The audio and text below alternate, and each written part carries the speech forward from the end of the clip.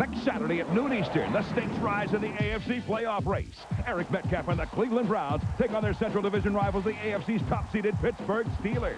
Then next Sunday at 3.30 Eastern, Dan Marino and the Miami Dolphins battle Natron Means and the San Diego Chargers. The AFC Divisional Playoffs next weekend on NBC.